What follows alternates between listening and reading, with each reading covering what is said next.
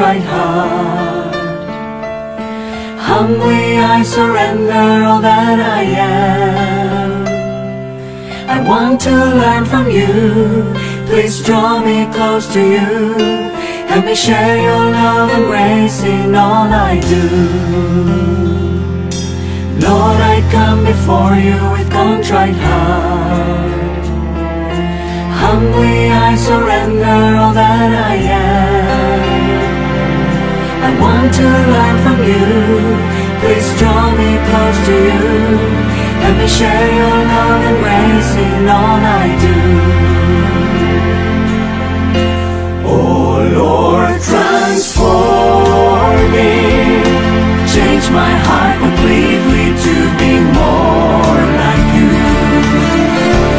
Oh Lord,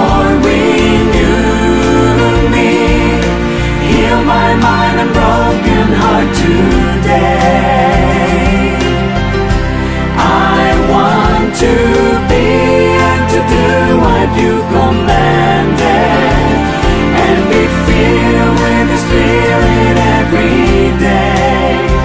I want to serve you wherever you may lead me. I want to serve you till the very end. Oh Lord, my heart completely to be more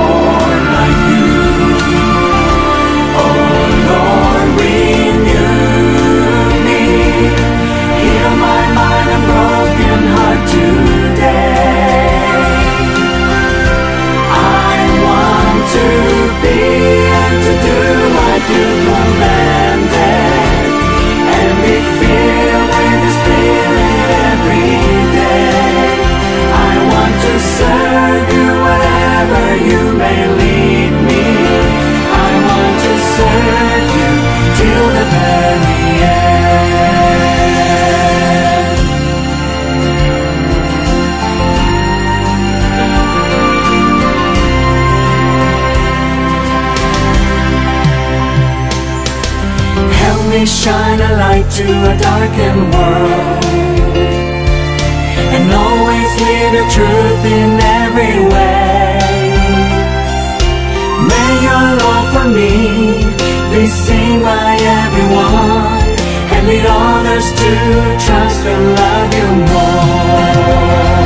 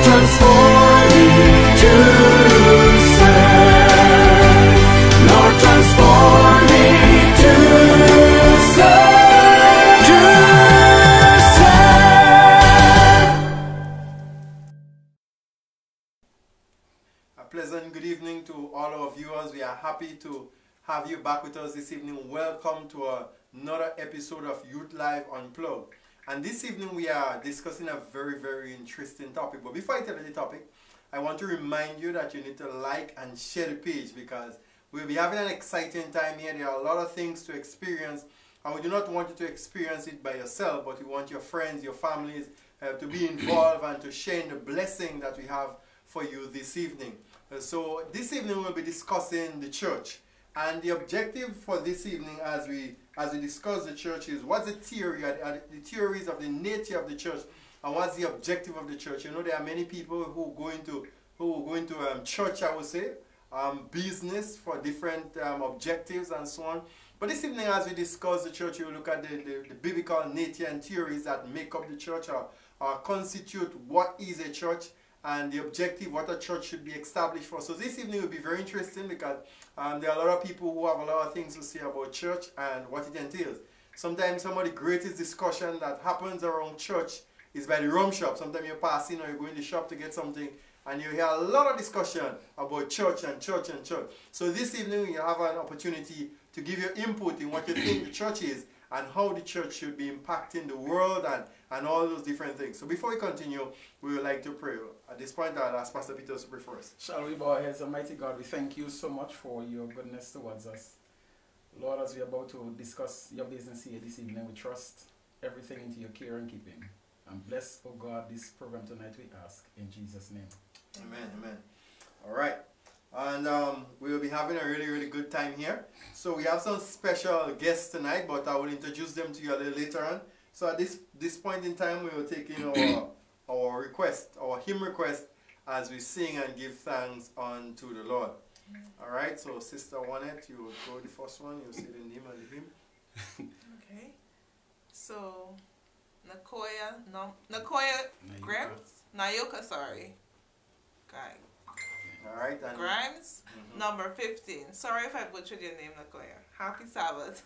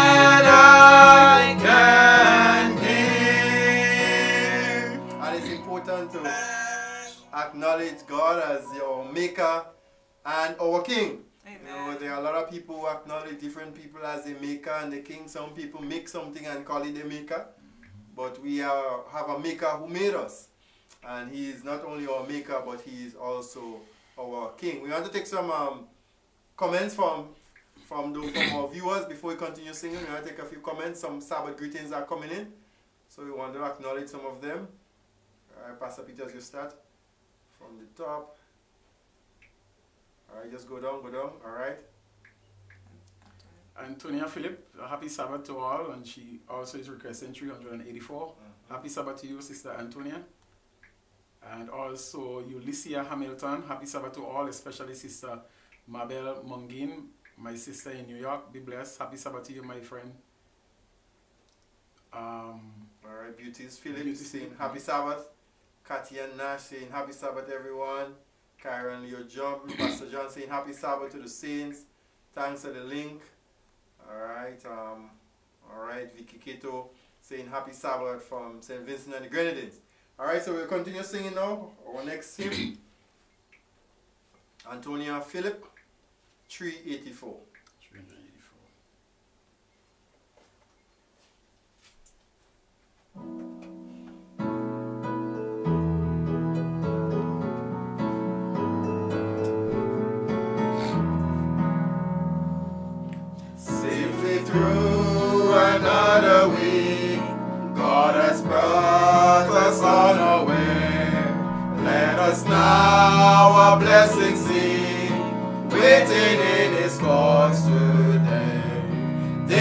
For the weak the best, emblem of eternal rest. Day of for the weak the best, emblem of eternal rest. May the gospel joyful song Conquer sin as comfort sings. May the fruits of grace abound, bring relief all. Thus may all our Sabbaths be, till we rise to reign with thee. Thus may all our Sabbaths be, till we rise to reign with thee. Amen. I know it's really a blessing to see the Sabbath uh, because um, as we have so many diseases and so many accidents and so many violence happening today, it's a blessing when you can say safely through Amen. another week. Amen. God has brought us on our way. All right, we now have another request. Sister Juanita. Uh, Rachel Jerome and Beauty Philip. Both of them want 434, hymn number 434. All right. 434.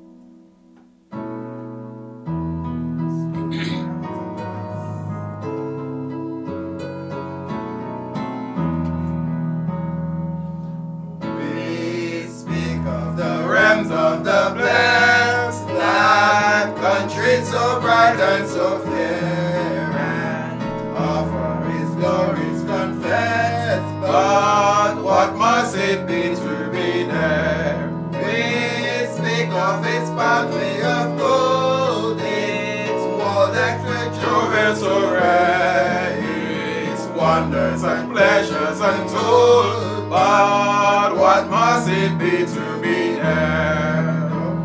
Do To temptation and woe, for heaven my spirit prepare, and shortly I also shall know and feel what it is to be there. Then o'er the bright fields we shall roll in glory celestial and fair. With saints and with angels at home, and Jesus himself will be there.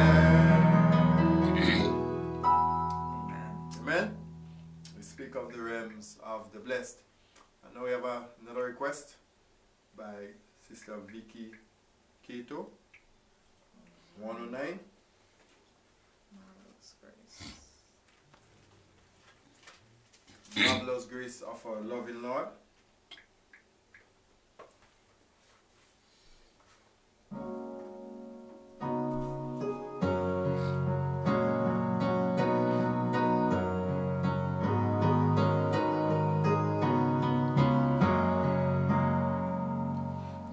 Marvelous grace of our loving Lord, grace that exceeds our sin and our guilt. Yonder on Calvary's mount outpour, there where the blood of the Lamb was slain. Grace, grace, God's grace, grace that will pardon and cleanse within. God's grace, grace that is greater than all our sins. Marvelous, infinite, matchless grace, freely bestowed on all who believe. You that are longing to see His face, will you this moment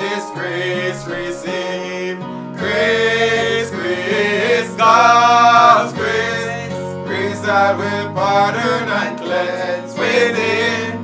Grace, grace, God's grace, grace that is greater than all our sins. And, and this is a wonderful song because even the Bible declares, the Bible says where sin abound, Grace much more. grace much more abound. You know, so sometimes there are times people think that they are too unworthy to come to God, that they have done too many wrong things.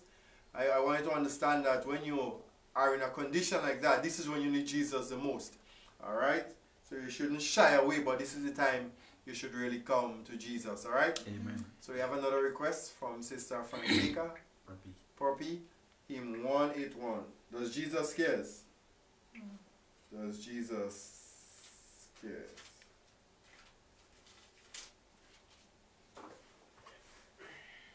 Jesus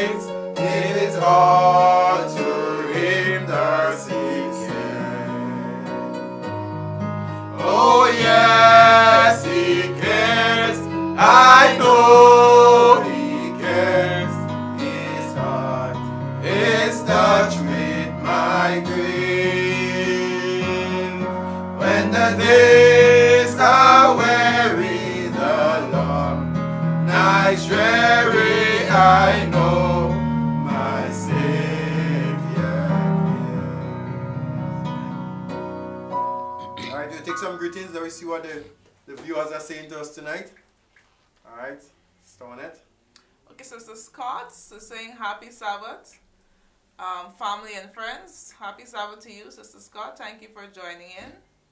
Sister Francesca Parpy, happy Sabbath. Sister Rosalind Jeffers McCoy, how was your day? Mm-hmm. So, Sister Francis is asking Sister Rosalind, how, how is she doing? Sister Rosalind, we hope that you had a great day mm-hmm. and you're enjoying the Sabbath rest. Sally Mars- Marsat, Maras. Maras, sorry, happy. She says, Good night, my two pastors. Mm-hmm. So I'll say good night to you, Sister Sally. Also, happy Sabbath. Um, Alright, let's go down, let's go down. Alright. Nikisha Douglas, all the way from Trinidad. She's saying happy Sabbath to all. Alright. Yvette Leslie is saying happy Sabbath family. Luem is saying happy Sabbath to everyone. Telson Sandy is saying, hey doc. hi, Telson. Happy Sabbath. Make sure, make sure. I'll take good care of them. Don't worry. Alright. Okay. Okay, right. We recognize this one already. Pastor Mario is saying happy Sabbath to everyone. Sabbath Bishop. Alright. Next, um, Mimi is saying good evening, everyone. Happy Sabbath. Uh, Gertrude, Gertrude is saying good night and happy Sabbath, one and all. Alright, so we go back to continue singing and praising the Lord together. Lovely Philip would like us to sing hymn number 254. And so, um, brief physician. And in this world today, with so many sickness, so many mm. different strand of sicknesses, we must have a, a- the great physician close to us, and that great physician is no other than Jesus. The great physician now is near.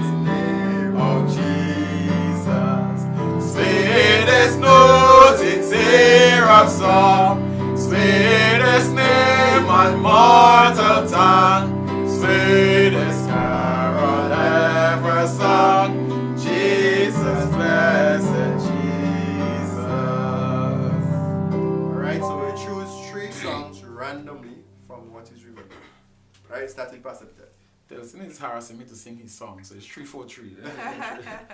Three hundred and forty-three for thousand.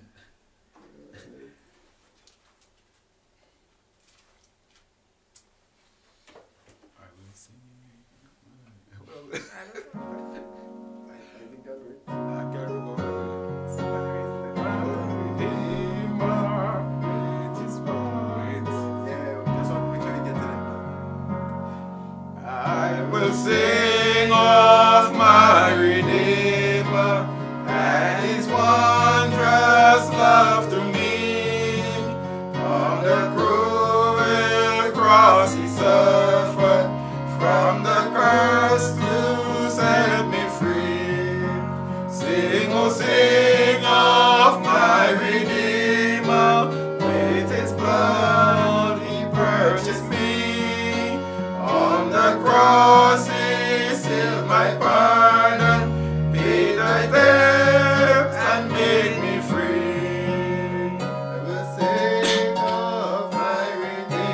chamber and his hand.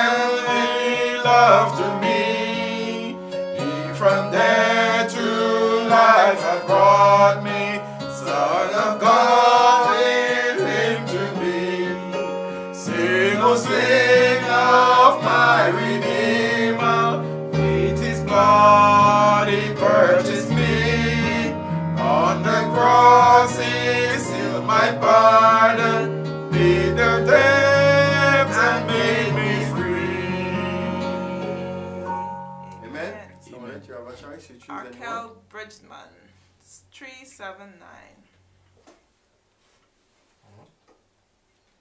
Three seven nine. No. Ain't?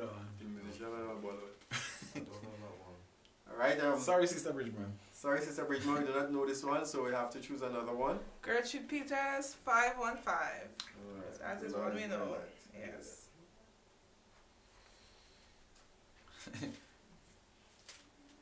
All right, 515, the Lord is my light, then why should I fear?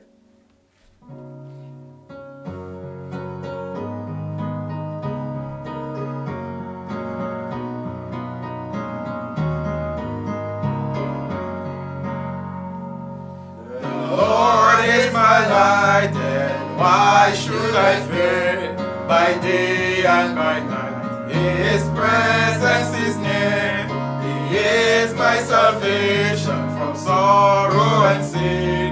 His blessed persuasion the spirit brings in. The Lord is my light, joy and my song. By day and by night he leads me along.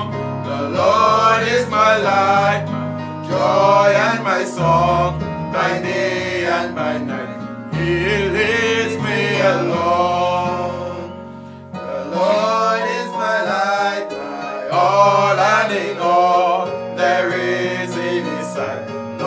darkness alone. He is my Redeemer, my Savior and King. With saints and with angels, His spirits I sing. The Lord is my light, my joy and my song. By day and by night, He leads me along. The Lord is my light, my joy and my song. By day and by night, he leads me along. All right. And our final hymn will be hymn number 532 by Sister Paris, all the way from Barbados.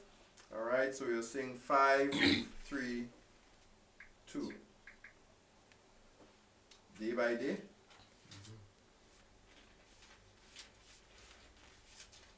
And we'll sing the entire song. Day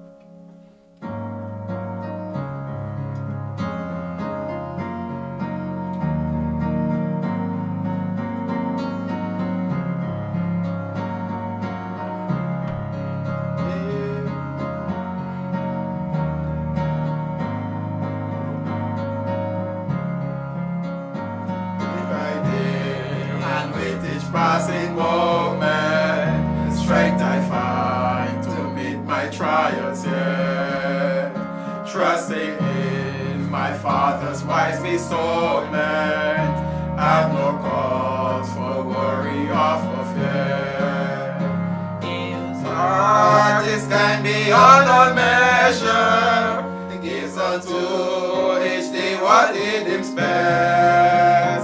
Lovingly, it's part of pain and pleasure.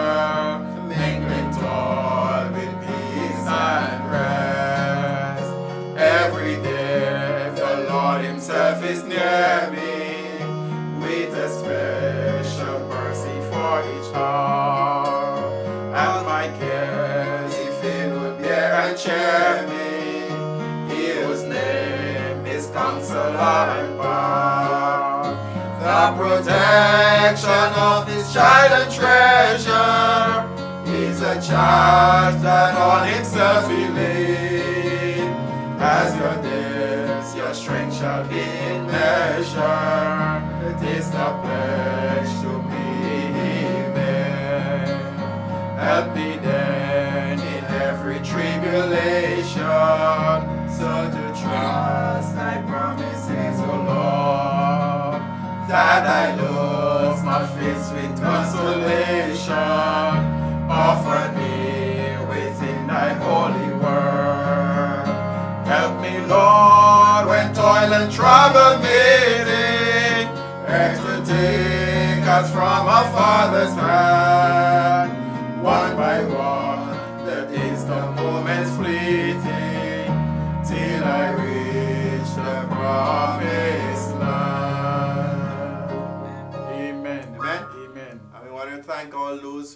Join us in singing and praising the Lord together. Amen. Um, we had a wonderful time, and I will always tell you that the best is yet to come. All right, well, tonight, as I told you earlier on, we are discussing a very interesting topic. The topic is the church. And as uh, I mentioned earlier, we'll discuss what is the objective of the church, to investigate some of the theories of the nature of the church, and to present a biblical model for God's church. So, this is what we are discovering tonight. But before we continue, we'll have special music. And when we return, I will introduce the panel to you, and we'll get down in some, into some serious discussion. So, now enjoy the special music.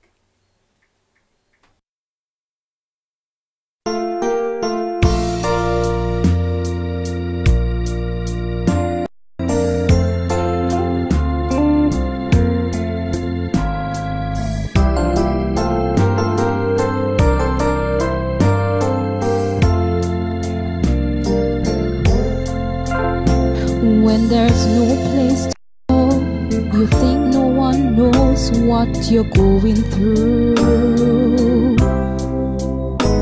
When you've done all you can, you're exhausted, my friend, and there's nothing else you can do. When life overpowers you or someone betrays you, you feel like nobody cares. There's still one place I know when there's no place to go.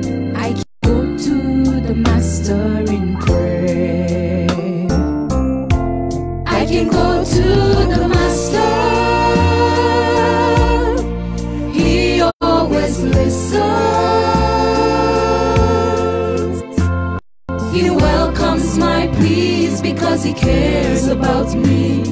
He won't overlook my petition. He's standing above and is watching in love. He's waiting my burdens to bear. He's got time for you and a place for me too. I can go to the Master in prayer.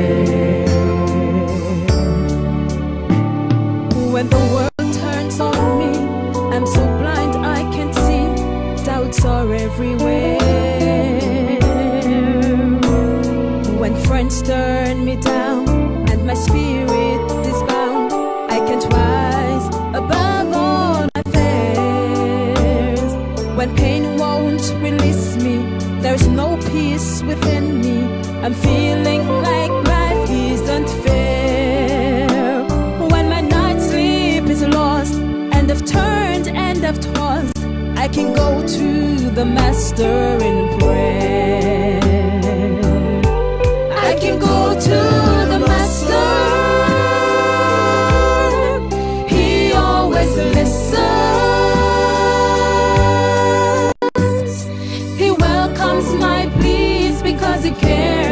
about me. He won't overlook my petitions. He's standing above and is watching in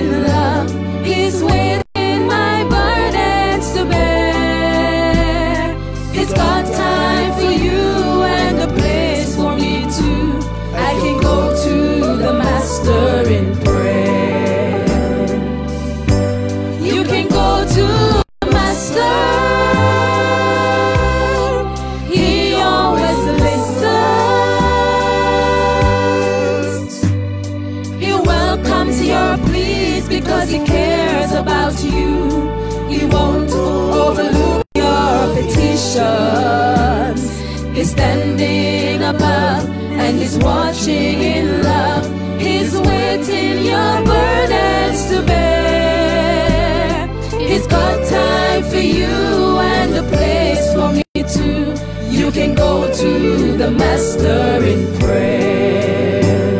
If life's a dead end, I can still recommend you can go to the Master in prayer.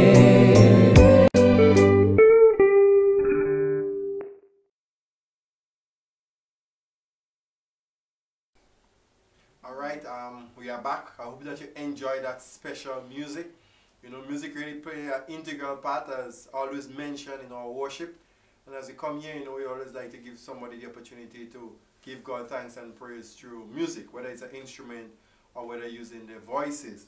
And um, tonight, um, we have some special persons with us tonight. I want to introduce the panel. And as, as I point to them from my extreme right, come over to my immediate um, right they will introduce themselves. So at my extreme right, Pastor Peters. Uh, Marlon Peters, the pastor of the Southeastern District, which includes the churches Malmont, Koshu, West Hall, and St. David's. Happy Sabbath to the folks there. All right. Hi, happy Sabbath. I am Juana Johnson, a member of the Grand Mal Assembly Adventist Church. Happy Sabbath to you all. All right. So I wanted welcome. Yes, I'm Pastor Oliver Scott. I serve as the Executive Secretary of Grenada Conference of SDA, Prayer Ministries, and Communication Director. It's a wonderful privilege to be with you today. All right. And um, I am your host, Pastor Lambert Paul. I'm the pastor of the Western One District, which is um, Clozier, Loreto, Mount Granby, and Florida. And um, tonight we're discussing the church. And that's why you may wonder why there are so many pastors here. Um, because, you know, pastors is aligned to churches. So we'll see um, as we dig deep into out the biblical model for God's church. You know, we expect to get some deep stuff from the pastors who are present here with us this evening. All right, I want you to feel free to send in your feedback based on the question that I asked the panel. You can write your comments and we'll, we'll um, make reference to it. Um, before we continue, let's just take some of the greetings. Um, we have Delian Cam- Cameron is saying happy Sabbath to all. Pastor Peters. Pastor Philip is saying, Bishop Peters, I'm not hearing you sing. All right. Okay, Sister Paris says happy Sabbath. Kenisha King said, eh, eh, Watch my pastor, Happy Sabbath, Pastor Peters. It's very popular. Alright? I say, Pastor Paul, you're not left out. Alright? Okay? Melinda Bryan, Happy Sabbath, Pastor Lambert. Alright? Brother, sister from Meli- Oh, that's his, that's one of the, con- the island in um, Colombia. Okay. Yeah, that one of the island in Colombia, Providence. Mhm. Alright, so let's go down the road. Pastor Scott, can you assist us now with some of the greetings? Well, I'm seeing Pastor Philip again. The two pastors can do a duet. Wow. oh my. Bishop. Who else do we have there? Um, Rosalind Felix is saying good night, happy Sabbath. We have Alan Hosford, happy Sabbath church family from Cold, New York. Mercy. Antonia Philip, oh yes, I can go to the master. Mhm. And uh, of course, Shaman Hamlet. Um, hello, Brother Ham- Hamlet, he's saying happy Sabbath to us. Mhm. Right, and they commenting on the song, wonderful singing. Alright, I can go to the master. Alright. Islan Henry. Alright, Islan Henry, Henry is saying good singing. Mhm. Alright. Barbara St. Louis, she says, Amen. He hear and answer our prayer. and I'll see you in the morning, Sister St. Louis. Kelvin Lewis, hello, good night. Nikisha Douglas, she's saying greetings. That's me, Pastor Scott, and Pastor Paul. Alright. Okay. Hazelin, ha- good night, Hazelin. Alright, so we, we will get on into the um into the discussion now. Um, and we will recognize your greetings. Well, now you can respond to some of the questions that we'll be asking. So the first question we're asking tonight, what is a church? Just what is a church? Well, the word church um, comes from the, the Greek word ecclesia, Mm-hmm. compound word which means called out. Mhm. Called out. So the concept of church has to do with God calling us out of darkness into His light, and He assembles us with other like believers, and uh, so that's the church. Okay, is that one it? Um, my understanding of the church, not Mhm. as um, profound as Dr. Pastor Scott, Mhm. but um, I understand it to be a community of God's believers, Mhm. um, God's people, and definitely if we were a community of God's people living in this world, we would be separate and distinct from those who are not part Okay. of His kingdom. Savitas? Uh, um, just a slight difference with Bishop Scott, which is almost on the same line, but ecclesia comes from eklon and it simply refers to the gathering. So when we speak church, here we're speaking about assembly, gathering, called out ones. Alright. I just want to go a little deeper before we go to the text here. Pastor Scott mentioned that um, we are called out from darkness to light together with rest of the light believers. Could you could you make that a little simpler for, for, for us please and for the viewers? Yes. Well, the church has, has a spiritual concept, of Mhm. course, when it comes to Christianity. So all of us as human beings, we were born, you know, with that tendency towards sin. We are, we are lost without Christ. But Christ loves us so much, God loves us so much, that He provides grace that we can be saved. And so He calls everyone, not just a special group of persons, but everyone, to come out of spiritual darkness. But those who make a choice to accept Christ, um, all of these believers combine to form His church. Okay. Alright. So thank you for the for the explanation because this is important because I know a lot of people don't have the concept as clear as, as they should. Um, but there is there is an addition to the question that says explain the theological meaning of Peter and rock in Matthew 6, 18. And let, let, let's, let's read that. Matthew chapter 16 and verse 18. Can somebody read that for us? Sister Juanette, eh? can you read it for us? Matthew, yeah, Matthew 16 and verse 18. okay, this is a, a text that is used by a lot of churches. And you have different theological meanings from different people, different churches, and there are so many churches, and sometimes it's one little doctrine, and somebody decide to knock up some galvanize and say, I start in a church. Alright? Sister Matthew have 6, 18. 16. Matthew 16, sorry. Matthew 16 and verse 18.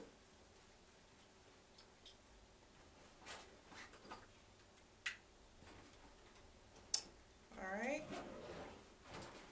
It says, And I say to you that you are Peter, and on this rock I will build my church, and the gates of Hades or hell shall not prevail against it. All right. So explain the theological meaning. What, what, what with Peter and the rock and so on, because sometimes um, you hear different theories and people say that um, Christ built the church upon upon Peter. You know, so Peter has the key for the church and a lot of different things. So can can you all explain what what really what the text is actually saying to us here tonight? If I, if I, to look at the theological significance of the church is to really actually look at the text in itself at its depth. Um, Jesus asked the question, Who do men say that I am? Peter answered, Say, I believe that thou art Christ. So Peter is saying, Peter said, Jesus, I know that you are Christ. And Jesus is now saying, Peter, Peter, Simon, Barjona, thou art Peter. And upon this rock I will build my church. Or if you look at the Greek uh, uh, etymological study of the, the word Peter, which is Petros, it simply means a little rolling stone, a pebble, a rolling stone.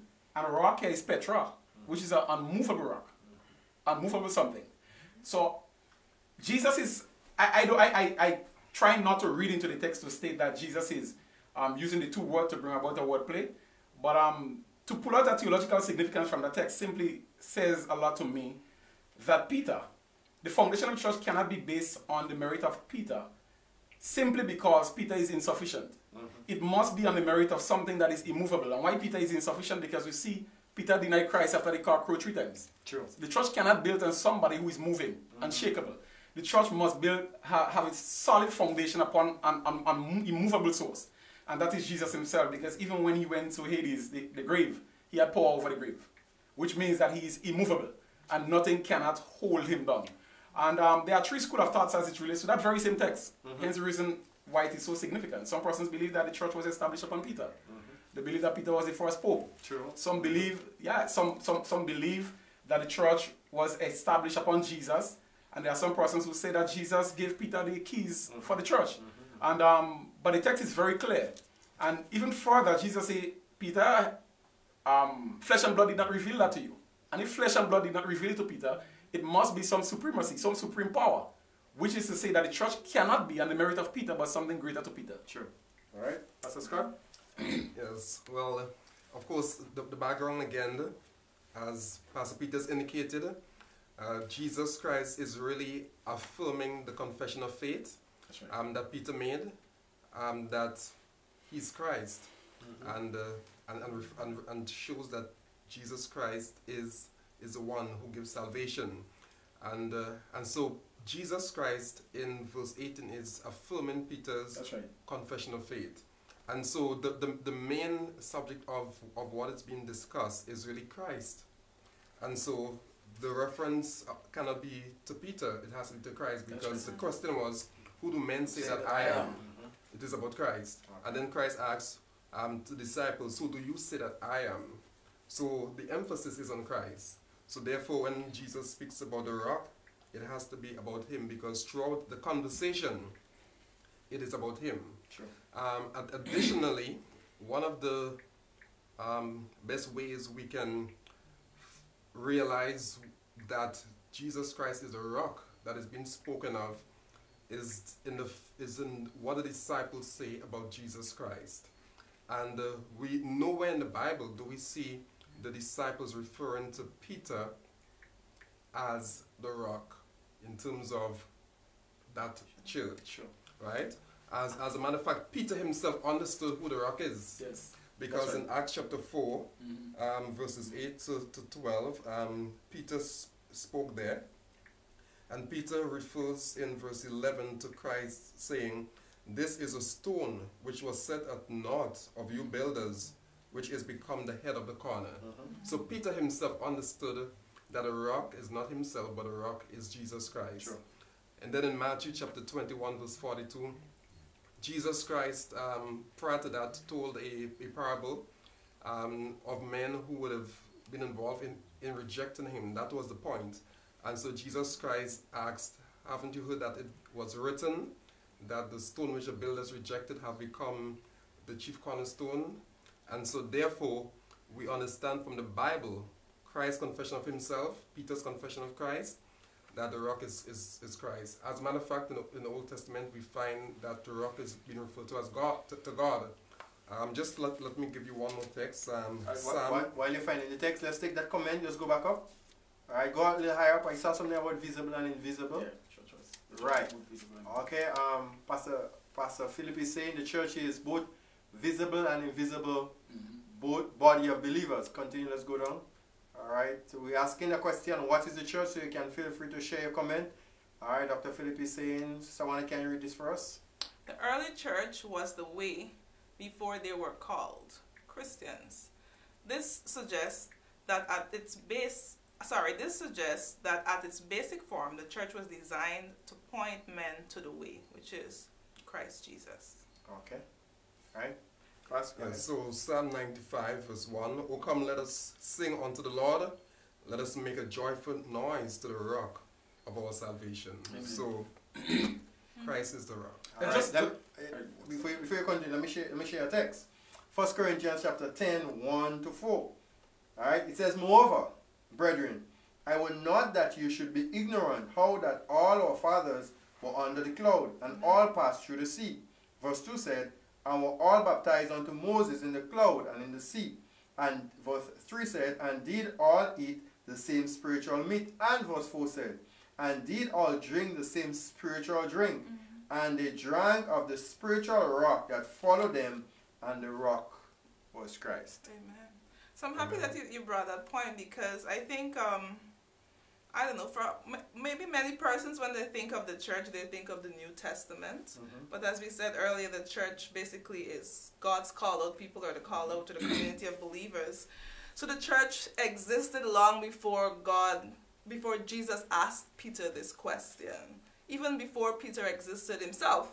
So for the church to be built on Peter or established on, on Peter when it existed long before Peter was. So, Sister Juanette, uh, just, just continue there. We go in there next. That's the next Mm-hmm. Okay. question. Where Mhm. we all started. Mhm. How can you trace the origin of the church through the scripture? And just, Right. to, just to comment on um, on the Peter and, and, and rock issue. Now remember, Jesus was not just speaking with Peter; he was speaking to the disciples. So they were there. Peter was speaking on behalf of the disciples, but Jesus was speaking to all of them. Now, if the church was built on the premise of Peter, why then in John they are arguing who should be the greatest? If Jesus would have already told Peter that you are in charge, I'm leaving. Mm-hmm. After that, they are still arguing who should be the greatest amongst us. So it was never about Peter, but it was about Christ. True. All right, Sister Juanette, you, you finished? Or you Yes, I'm finished. I'll Okay, keep good. my point before we get to the next Right, question. okay, good. Right. So the next question, all right, let's just take the comment. Right. Pastor Scott, read this comment for me by Grace Lynn. We should remember that Peter had denied Christ and now he is here confessing who the Christ is. Right. All right. Excellent. Let's go down. You have more comment there? We have Maybell. Okay. Um, it's not relating to the text, but she's saying a very pleasant and happy Sabbath, family and friends. All right. Okay, so we go into the next question. Tonight we are discussing the church. So I just want to encourage you to share and like the page because the discussion is very interesting because you see there are a lot, a lot of churches out here, you know. Um, sometimes we get confused with church and religion. All right, but um, Christianity is a religion and there are plenty, over thousands of thousands of different denominations. And everybody pull out a church and they say, that's my church and we have the true church. But we're looking at the biblical concept and we wanted to put text to, to validate your comments because at the end of it is not what I prefer and what you prefer, but what the Bible says, right? So we want to encourage you to like the page, share the page and, and, and get involved in the discussion. The question on the floor right now, what is the church? So in your mind, uh, in your understanding, what is the church? You can share it with us. We'll read it out and everyone will um, know what you said and will, we will acknowledge it as well. So we're going to the second question. It's very interesting because some people church start yesterday, some will start tomorrow, some will start by December, and some starting next year. Right? And everybody who comes on, on the scene with a church says, My church is the true church. Right? So the question is, therefore, is the church a man made institution? Or can we find its origin in the Bible? Well, Question on the floor. Well, I think we can go back to the to the Old Testament. Um, for example, Adam and Eve, they were the God's people. um, then we find that the descendants of Seth were, were faithful, referred to the sons of God. And we find also that in Genesis chapter 6, um, Noah is being referred to as having found grace in the sight of God. And uh, in, by the time we get to chapter 7, verse 1, he's called righteous. And of course, we know that God was calling the people out to be in the ark. And, uh, and, uh, and then those who were in the ark, they were the ones that were called out who accepted because there's always choice.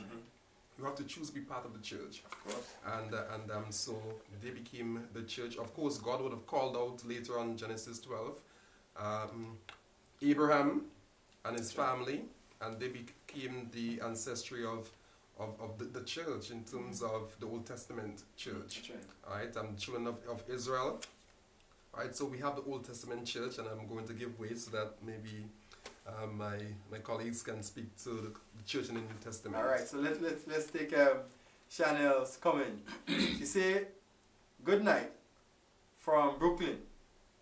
Always nice to be tuned in. The church is not a building. It's the people that makes the church, my opinion. All right, Joel is saying good. God always has his group or his church who remain faithful to him. All right, so so as, as we were, we were listening, Pastor Scott was setting a baseline. He was setting a trend um, throughout history and, and, and the movements of God's people. And you stopped at Abraham. Yes. Right. So, so I'm So- giving way to my colleagues now. okay. Sister, when did you know? Uh, Right, so we know basically as Pastor Scott left off, um, he said that Abraham basically gave rise to the, the church in the New Testament. And as we know, um, Abraham eventually had a son by the name of Isaac, who then um, further then went on to have um, Isaac then went on to have the twins, um, Ishmael and Jacob. Am I right? Yes, Ishmael and Jacob. And it was Jacob who was named Israel, and then that gave birth to what is known as the children of Israel. Esau and Jacob. Esau and Jacob, sorry, sorry, Esau and Jacob, and then that gave birth to what's called the children of Israel. And we know that eventually they went into Egypt, and again God called them out of Egypt, um, and they had Moses leading them. And eventually the children of Israel went back and forth in terms of disobeying God, and time and time again he kept calling them out from sin, calling them out from sin over and over again, and he promised them that he will send the Messiah, who would be uh, their savior. And in the in the New Testament, Jesus Jesus spoke to the uh, Pharisees and he told them like all these things that happened in the Old Testament, they were basically pointing to me, which brings us back to Jesus being the foundation or the rock that the church is built upon. what's up, If, if I'm going to just, well, I don't want to follow the chronological order as it Yeah. to the establishment of the church, but what I, all I want to say is that from Genesis, as Ella Scott would have mentioned, come right down to the end, we see that the structure is there. And um, the church going through the different dispensation, God always have a people that he's calling out, Yes. that he's calling out. And we see that right through. That's the trend right throughout Christendom.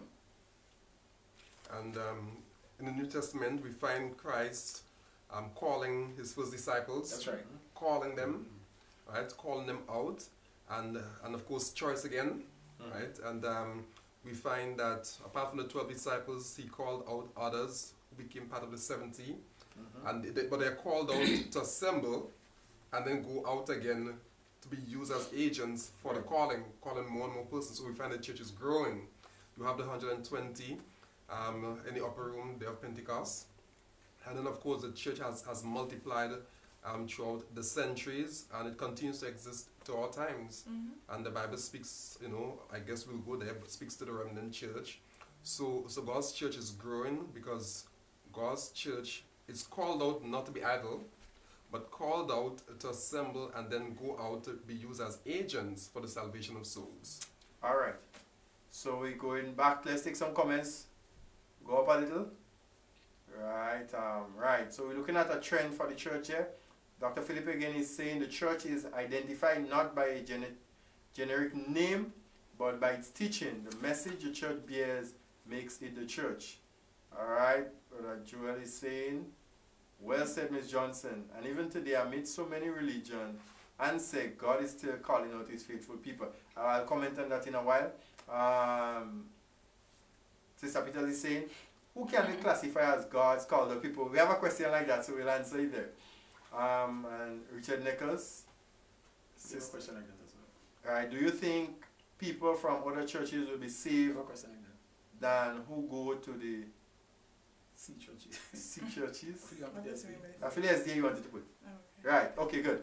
So we're moving on. Um, this is a very important trend because I think today the dilemma that we are in or the confusion that we are in today is because of a, a period, I don't think they, they, they plan to go in that trend, but just to touch it a little, through the period of the dark ages, where the church get a little blurry. And, and sometimes when people, I encounter people and they want to know, well, you know, they believe that their church is the true church. And then sometimes when you bring them to Revelation chapter 8 and you show them the different horses and the era in which the church went through, you realize that the church lost its identity there. Yeah. And that's when the Reformation come in and we are where we are today. Alright, so a lot of people just grab something and they say, well, I don't think your church just teach that, so that is, a, that is the true church. But Pastor um, Philip made a very important point that the teaching of the church is what defines the church. Alright, the teaching defines the church. Alright, so we'll, we'll get a little deeper into that. Will all church going Christian go to heaven or only those who go to a special church? What are you thinking? Ronald, Ronald Richardson. Sister, why don't you read that for us, please? So after Christ went back to heaven, what happened to the church? Alright, we will talk, we will talk to that just now. So we'll answer your questions shortly, Ronald. Mhm. So the question on the floor. heaven. Of course, the church refers to the people, but oftentimes in our speaking, we also refers to persons you know, going to church. So the, the reality is that one can, can go to church or at, attend and be part of the assembly, but but you have to live your life in harmony with the teachings Mhm. of the God of the church. Mhm. You accept Christ, you're justified by faith, and you live a life that of faithfulness to God. And so, and so, not being a mem- being a member of the church doesn't guarantee a place in God's kingdom. Okay. You have to be an authentic child of God by being a true believer. Mhm. If you're not a believer, then you cannot be saved. So, if you're a believer and a believer is going to be faithful, um, then God is going to, to, to usher you into His kingdom. Okay. Anybody else want to respond? Well, the Bible tells us that this God has provided the Spirit. So after Jesus went back to heaven, He allowed the Comforter to be with us, the Holy Spirit, and He said that His Spirit will guide us into all truth. And oftentimes I meet people from you know different churches, so to speak, um, different congregations, I should say, and um, different walks of life, and they ask a similar question: Do I have to go or assemble at a sp- specific place to be saved? But I think once, if God calls us out, meaning out of the kingdom of darkness, and we move out of that kingdom of darkness and allow Him to guide us into His truth, well, then we will be saved. Oftentimes, I think um, salvation is tied to the building or your membership in terms of your name on the church books. But as we said earlier, um, the church is not necessarily the building but it's those who are called out and who accept that call and allow themselves to be guided wherever the Holy Spirit uh, takes them. And once we allow that, the Spirit will certainly guide us to salvation. Alright, I just want to share a text, Matthew chapter 7, and from verse 21, it says, or read just verse 21. He said, Not everyone that said unto me, Lord, Lord, shall enter into the kingdom of heaven, but he that doeth the will of my Father which is in heaven. But so a lot of people just go to church and um, they call on the name of God and they think that they will be saved. And even I, I prefer the one even in the one in Luke. The one in Luke seems a little irritated when it says when when God says um, Jesus says in verse 40 um, Luke 6 46 why you calling me Lord Lord and not do the things that I say it's like your child keep asking you for something and I tell you what you wear and you're not doing but why you keep asking me for something right so um, I like to say it like that that there will not be any rat pass to heaven so God will just give you a pass to go to heaven because he likes you or because of your complexion or your status in society but you have to be according to his will because you can be joined to a church that teaches all what the Bible um, um, says, and it relates to salvation and doctrines and so on. And the church teaches but if you don't follow it, you're still lost. Alright, so it comes down to an individual matter as well. And, and on, on that basis, if Pa- the, if Pastor Scott.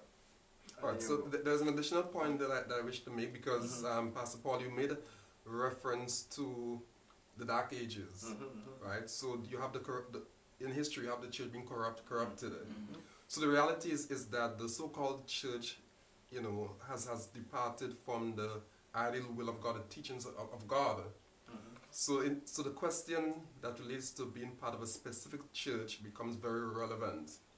Um, it, it means therefore that, that God's true church, God's authentic church, cannot be a professed group of believers that do not teach the word of God, but have to be a professed group of believers that are faithful to the word of God.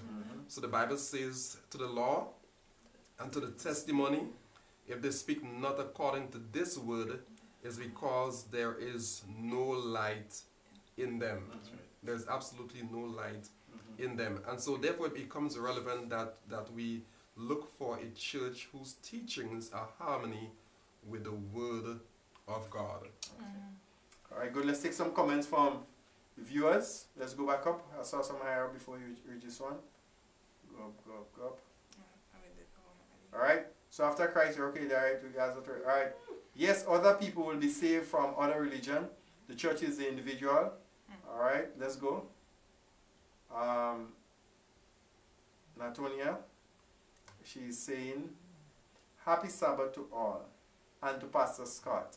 I would love to thank you for answering the call to ministry because for years I was searching for the true church and at a crusade at Samaritan. You planted the seed and the spirit worked. I gave my life to God. But you don't stop there. You continue to encourage me in the Lord.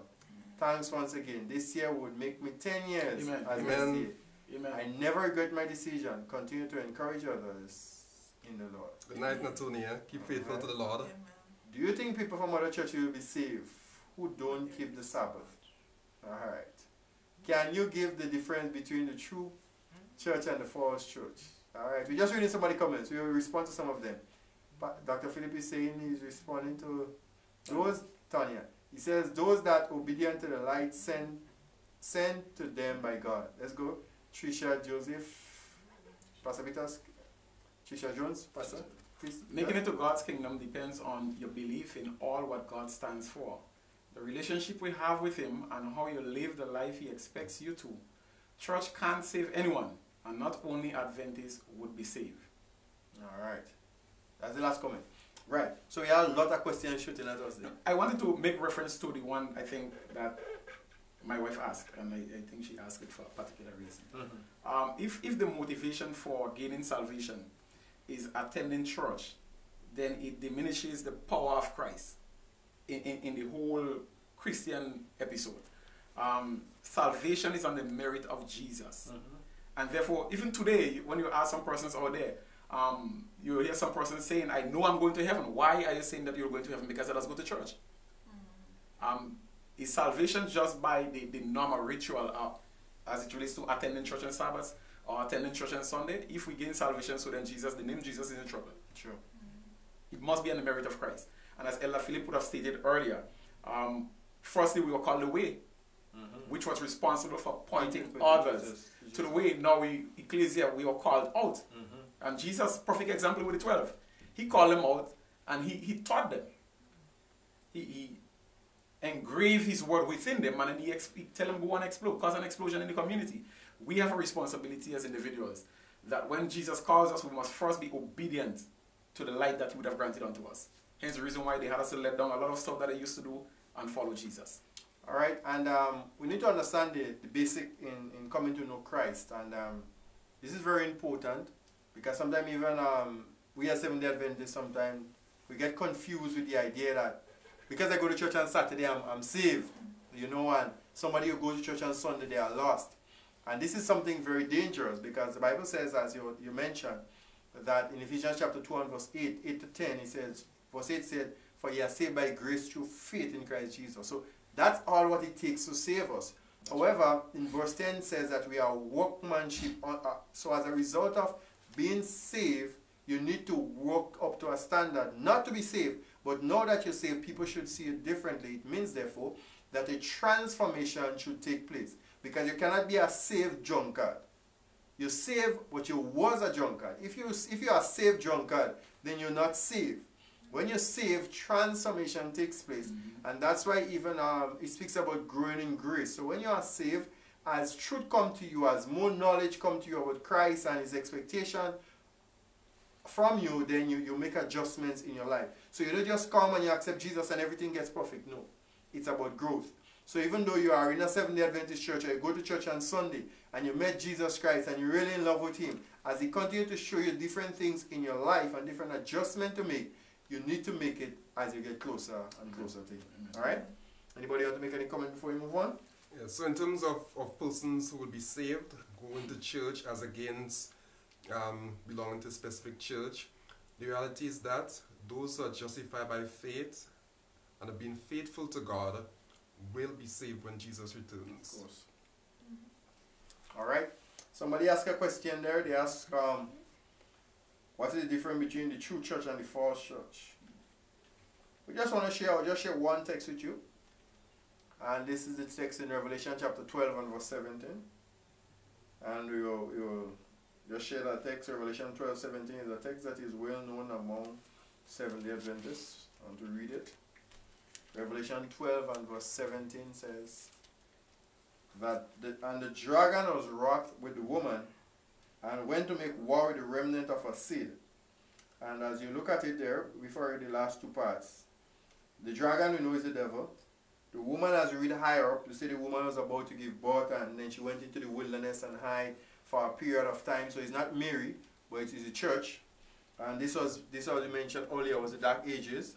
Alright, and um, it says, And the dragon was wroth with her, upset her, mad, angry with her, and he went to make war with the remnant of seed to devour is his fight against the, the last remaining of, of the church.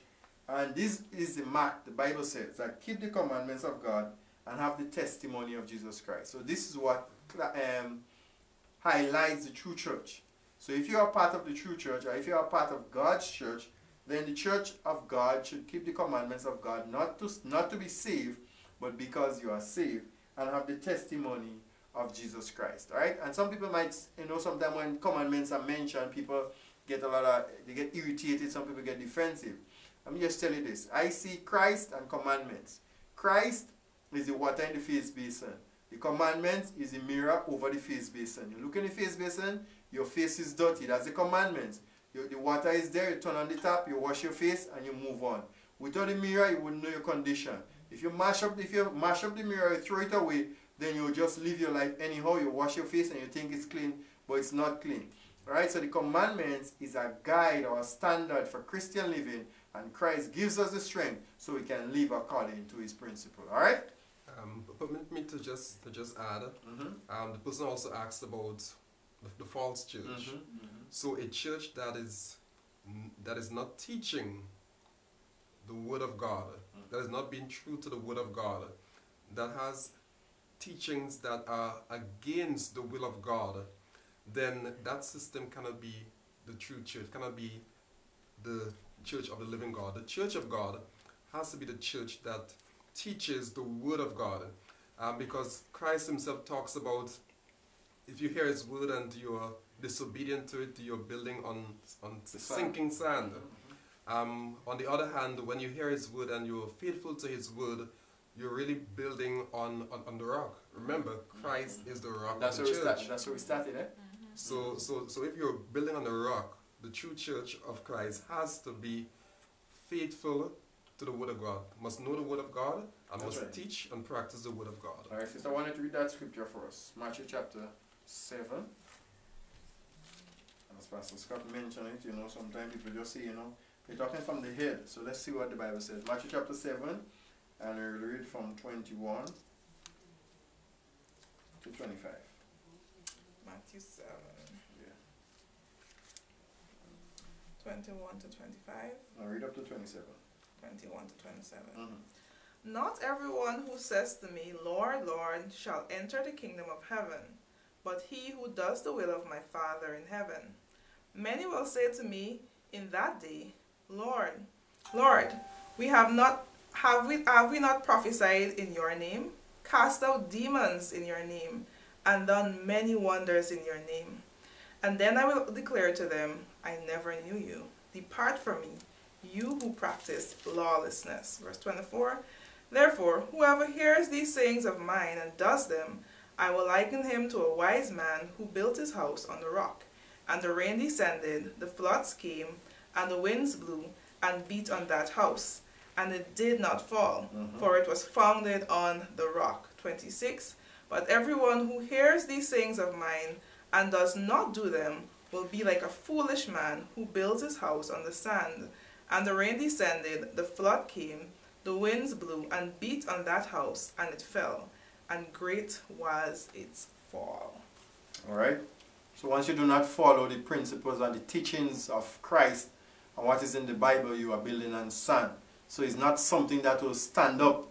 And once you build on the rock, you are building on Christ. And even the Bible says that Christ is the foundation of the church. Mm-hmm. All right. And if you're not building on the teachings of Christ, then it's not God's church. So you need to bear that in mind. All right. And I, there is this notion today that a church is a church. Mm-hmm. We, we hear that ever so often, in the person saying, as long as we are going to church, we are okay. So same God. Jesus, he cannot be the author of confusion. He cannot. To say that a church is a church that teaches several things differently, it simply means that God doesn't know what he's about. There is a precise method and way that God wants us to function. And um, the people of God was called out to follow Jesus.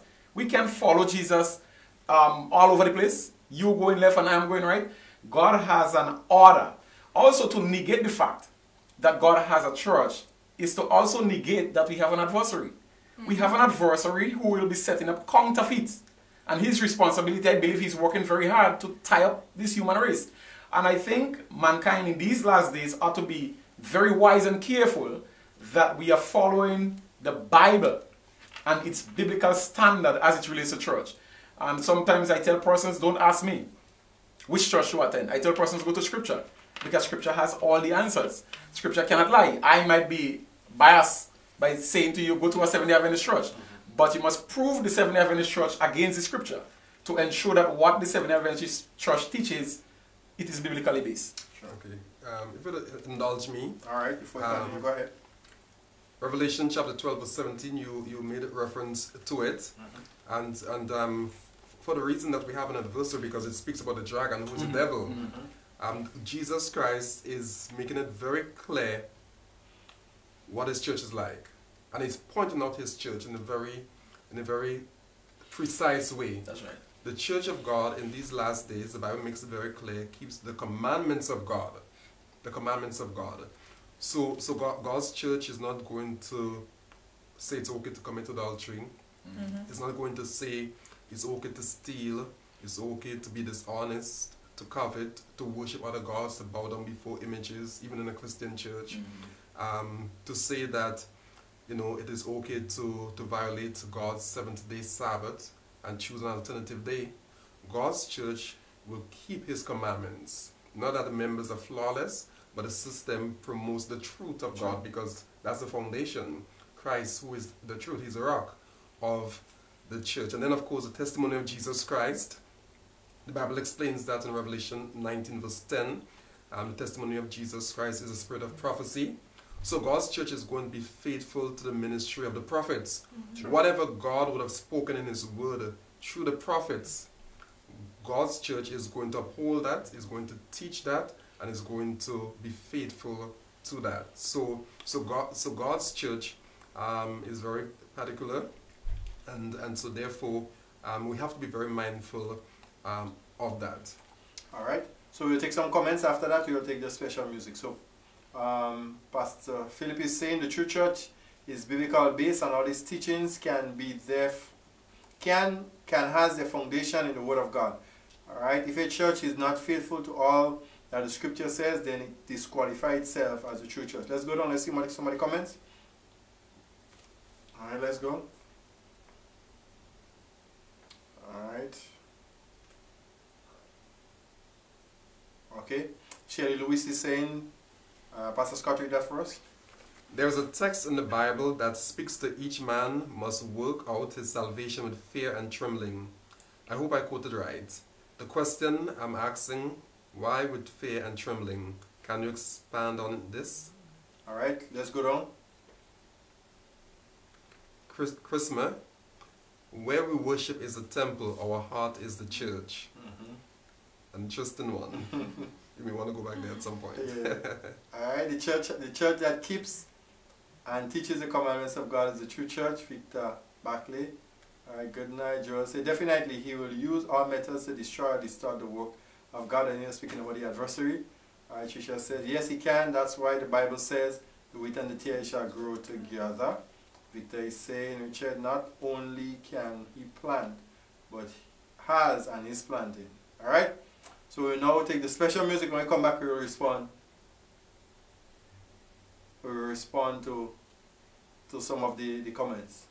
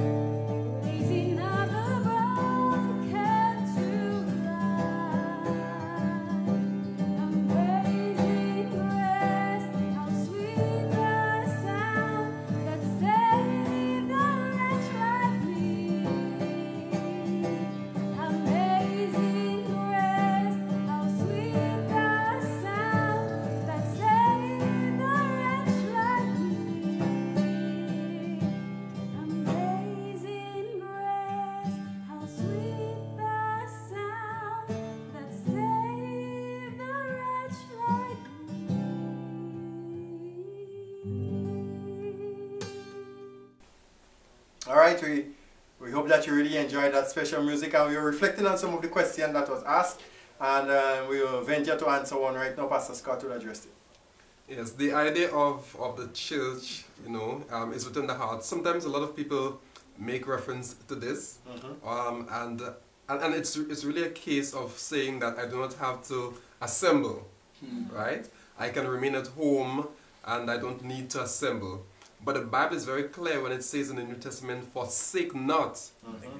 the assembling of ourselves together, as the manner of some is." Mm-hmm. No, we don't want to be part of the some mm-hmm. as the Bible teaches us that the assembly is important. The church is the assembly. We are called out and we assemble as believers. We're part of an assembly of faith, an assembly of believers. So the Bible says, do not forsake that. Mm.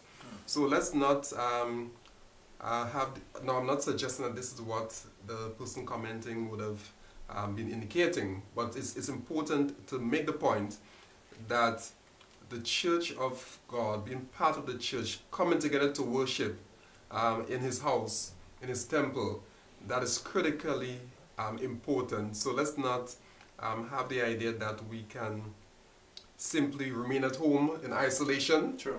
Um, but we must assemble with the believers. And if Christ has established the church, um, how could I say that I'm a Christian and I'm rejecting that assembly? When Christ is the one, I'm supposed to be a follower of Christ. You know. All right. So um, we thank you for all the questions that you're asking and keep asking your question. Remember to like and share the page. But during the week we have met some people on the streets of Grenville, and um, well, for those of you not in Grenada, that's one of the the um, the tongue, that one of the tongue of the parish of Saint um, and the parish of Saint Andrews. And we asked them some questions and they responded. So we'll just go now to the street talk and let's listen to what they had to say. Is it really a building or is it a group of people? We'll find out on this week's Street Talk. I'm your host, Zolisha, and we're out in the streets of Grenville. Let's go. Hi. So, do you go to church? Yes, I do. Okay. Why? You have any special reason? I go to church because I feel like going to church is something necessary in life, like a must praise God or something. Like, you know, I don't really know how to explain it, but I feel like going to church brings you closer to God. And So, you think there is a need to go to church? yes, as it said in the Bible, where two and three are gathered in His name, and I'm in the midst of. Wonderful. Do you believe that all churches are from God or are some of the devil? To be honest, I don't really know because what people just be saying is everybody has their belief and that everybody serve the same God but in their own way. So I can say that some churches are of the devil and Okay. So, do you think you must go to church to be saved? Mm, I, I've said before mm, it is a necessity, but honestly, I don't really think you need to go to church to be saved. You could be close to God in your heart and have Him there, pray to Him every morning and praise Him and live a good life, and that is what gets you saved. Okay, nice. Um, another question. What are some of your concerns with churches today? You know, a lot of different churches, a lot of things go on. How do you feel about it? Not everything we know today is right with some churches. Um, so, what are your concerns? My concern is that people see different religions. Like, let's say for Adventists, people condemn Adventists, they say because they practice things in the wrong way or other religions do things in the wrong way, and that is a problem to me because they say we serve in the same God. So, what is it condemning your people and them in their way, con- praising God? Okay, and last question. What would you like to see happening in churches today? like I would say unity. Well, unity because most people in the church, and then you see, oh, this one was talking to this one, and then this one was talking to this one, and then that is not something good that's supposed to be in the church. Like everybody's supposed to be together and bonded as a family. Okay, thank you so much. What's the name? Avian. Nice to meet you. Do you go to church? Yes, that's one. Why do you go to church? Because I go to go to church because of my religion and to serve God. Now, what would you say is a church? To me, church is a building and an organization. That's all. Do you believe there is one true church? Yes. Yes, it. Yet is it one true church because God said that the true church is the remnant church and that was resonate from Ellen G. White. Okay, so if you were a pastor, imagine that you are a pastor. How would you run your church? Well, fear enough to win souls for Christ. Okay, nice. Are all churches of God or do you believe some are from the devil? Yeah, it is true. Some people believe in God, some don't, and some say they believe in the devil. Okay, nice. Now, do you believe that you must go to church to be saved? No, you don't must go to church to be saved. Once you're doing what is right and pleasing in God's sight, Okay. Now, can you tell me why do you think there are so many churches today? So many churches, you know, you go here, there, everywhere, so many churches. Why? The reason why you have so many churches today because certain people do it as a content of a business and and to also facilitate other people and to earn some source of living. Okay. Oh, now what are your some of your concerns when it comes to churches today? You know, we hear so many different things happen in different churches. What are your concerns about that? Yeah, when I hear things, so you know, I even ask myself like, why people think that way, and because for instance, some people say, when things like that happen, you just have to pray and hope that things will happen for the better. Now, last question. What would you like to see happening in churches today? Uh, to me, I find uh, spend some more time with the youths and and settle down with, with them also. Like like even those who just recently baptized. They, when I speak with some of them, they tell me the reason why they leave church because nobody didn't speaking with them, nobody didn't talking with them, and they didn't get no activities to do. So they sit down in church and they say like they one bench, and then after a time they leave church. So. That's it? Okay, thank you so much. Okay, right. There are no questions and answers, you know. As you know. Right. Small man, you want to come and answer a question? Okay. Ready? Yeah. Okay. So, do you go to church? No, not really, you know. Is there a special reason why? Uh, well, I've been in, well, I was a Catholic since I growing up, you know. But I just feel, well, church is just like a building. Okay. You know, church is like a building to me, you know. People congregate on a Sunday. Nice to be together with everybody, you know, but on, on, I don't really go to church. Okay. Do you think that there is a reason or a purpose for having churches these days? Well, they say the reason for having churches is to get the people together, you know. That's mainly what they have in churches. Because you have different religion. Right. I know with church and religion is the same thing. Because there is churches and there is religion. Right. So we have to, which one is, which one we're talking about? Okay, so do you believe that there is one true church? You know, probably we have different religion, yes, and mm-hmm. persons may say that their church is a true church. Do you believe that there is one true church? Well, I wouldn't believe there is a one true church. You know.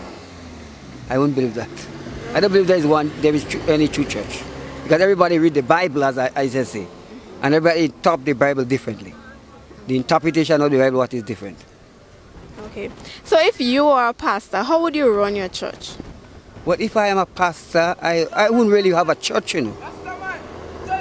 And if I have But a, you- but you're the pastor. If I have a building. Okay, so I'll move on to the next question.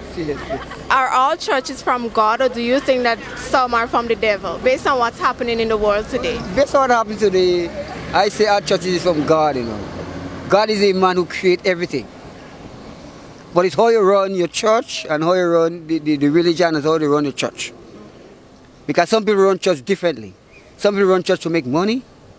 Some people just run church well as a, people congregate together and praise the Lord as they stay together, which is good. Do you think you must go to church to be saved? No, you don't have to be in church to be saved. I don't think so. Because sometimes you go to church and you're not saved and you're not doing the right thing. You know? True.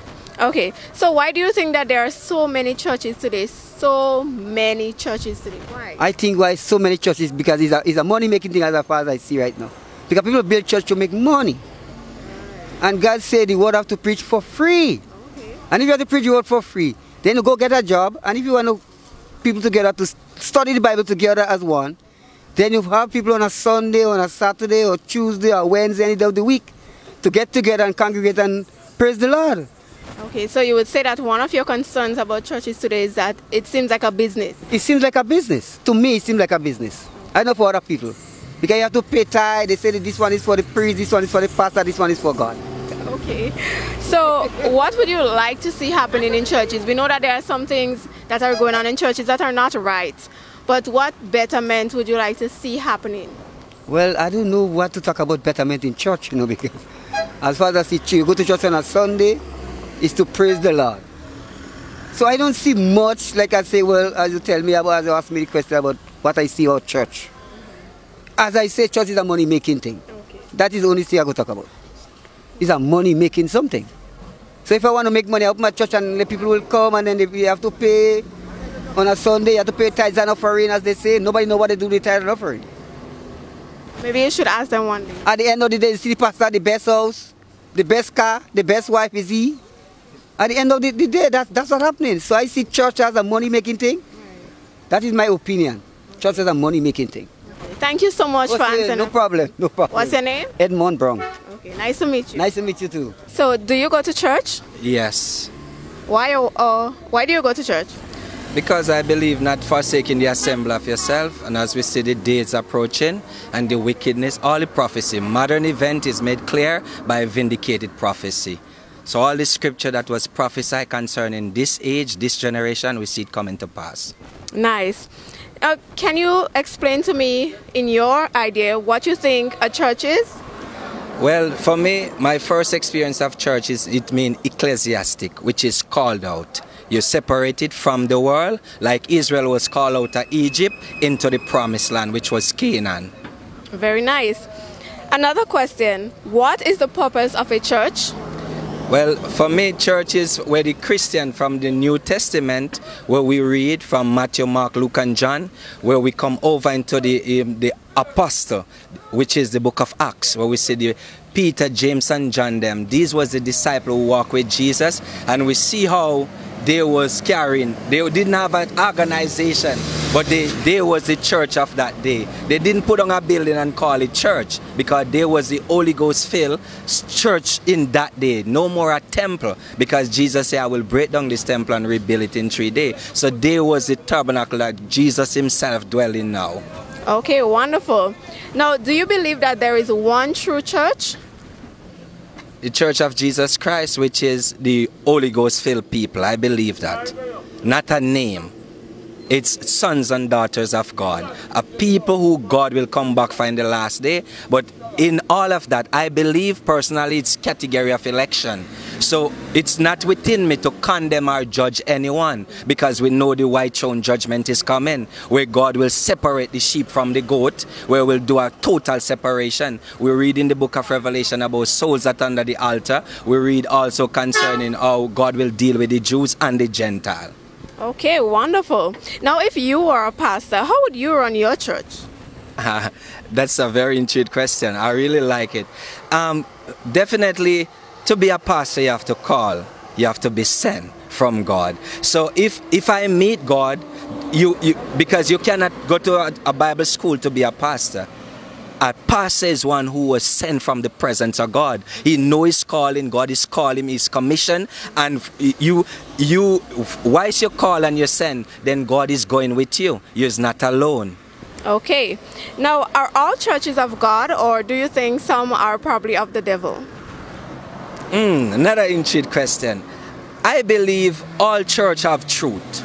They may not have 100% truth, but every churches have their truth. Now, what you will find there is that God is 100% truth. And as long as you ain't saying the fullness of God, then you're also perverted. So there where the tickle is coming. Okay. And do you think, do you believe that you must go to church to be saved?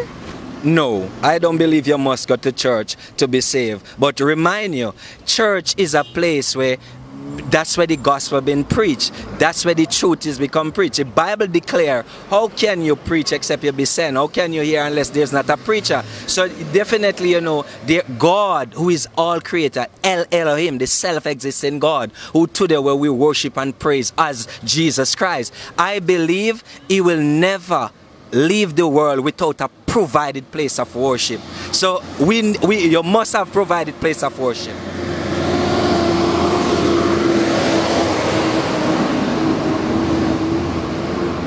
Okay.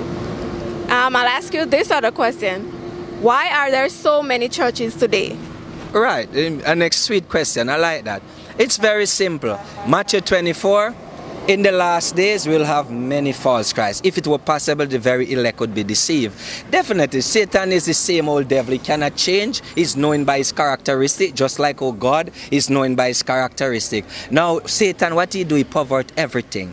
Every he's not a creator, so he pervert everything. This church will have truth, and before you know, the pastor die. Because you think about the war, the I will go back to the the latter rain revival. The latter rain revival start 1946. And after the latter rain revival, by 1965, there was chaos on the earth. We know about the Pentecostal, the true Pentecostal will start 1906. By 1914, we have World War One. 1939, we have World War Two. Then we have Hitler, Eichmann, Mussolini. We watch the Jews that got to persecution. For 900 years, the church itself got to a dark ages. So when we look at this dispensation, which is the Laodicea dispensation, now what you have to know, where can you find truth? Where can you embrace truth? Where can, as somebody who's searching for God, like David said in Psalms 42, deep call it unto deep as the water broke. So there's that thirst in every elect of God, every born again believer to find God. Okay, and last question. What would you like to see happening in churches today? We know that, you know, some people are concerned, pastors do crazy things. What's your take on it? What would you like to see really happening in churches today? Right. In, in churches today, I would refer back as the same thing again. It, the Bible is clear.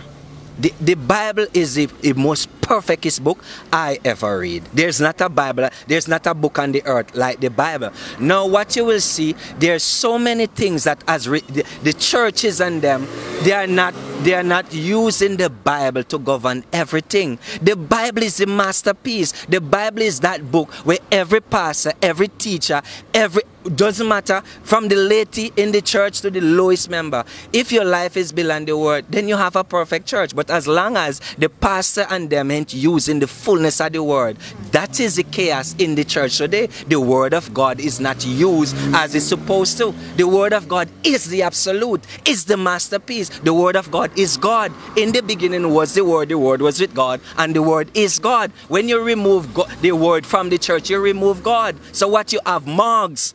You have morgues, you have hospital, you have dead house. The church need to go back to the word, and it's too late. It's too late. The coming of the Lord is at hand. Time is running out. The man, everything is prophesying, showing you. It's time. It's it's home time. The world is in chaos. The earth is in birth pain. Well, thank you so much for sharing. What's your name? Winston Lewis. Okay, and that's your little shop here? Yes, Caribbean Fireside, where the fire cannot hide. It's a place where we say everything proper, right? Very nice. Yes. All right, um, well, this was our street talk. Um, I really enjoyed the street talk. I, I don't know about you, but I really enjoyed it.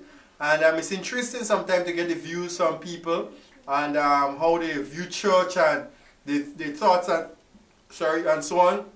There are some people who are very knowledgeable. There are some people who are honest and ignorant. But um, in all and in all, it's important that people express themselves. And as a result of that, you can know the thinking. And if you are knowledgeable, then you can guide them. And um, we can all come in harmony to what God expects of us. All right, so there are a lot of comments that came in. Um, we will try to take some of them. Right.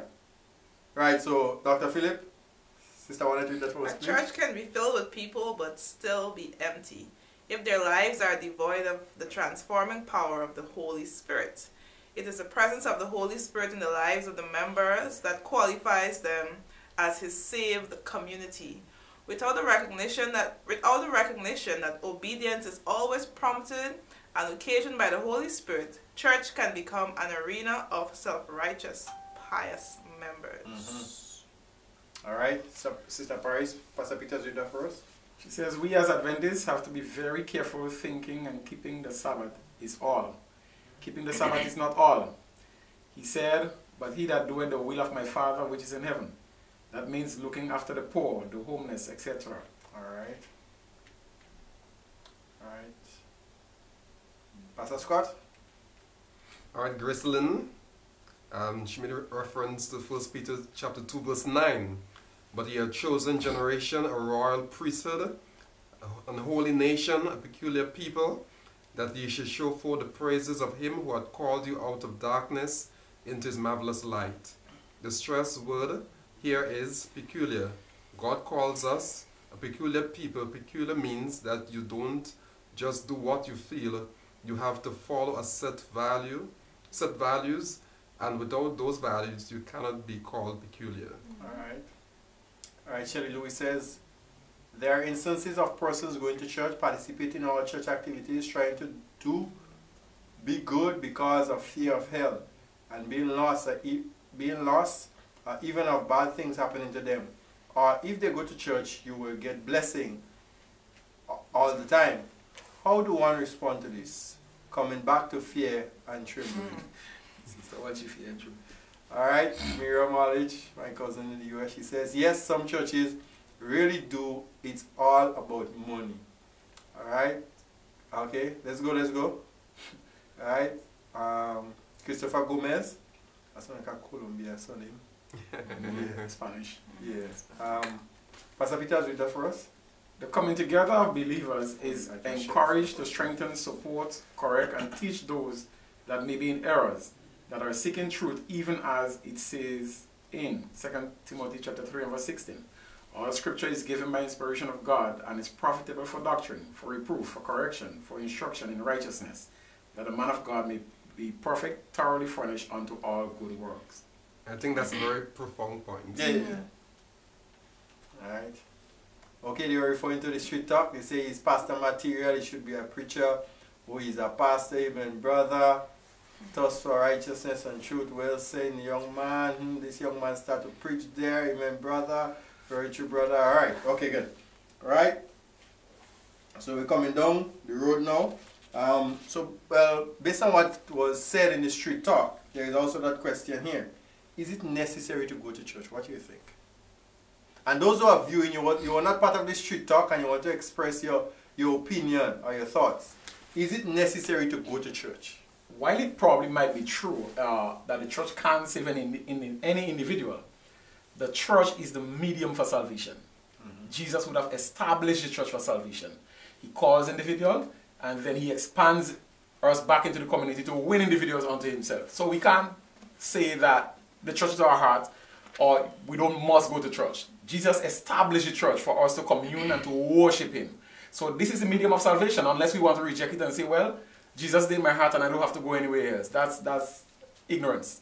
All right, Sister Avian is responding to Sister Shelley. Let me hear what she said. The text is often misused to instill fear into people. However, the sense of working out our salvation in fear and trembling is twofold, I believe.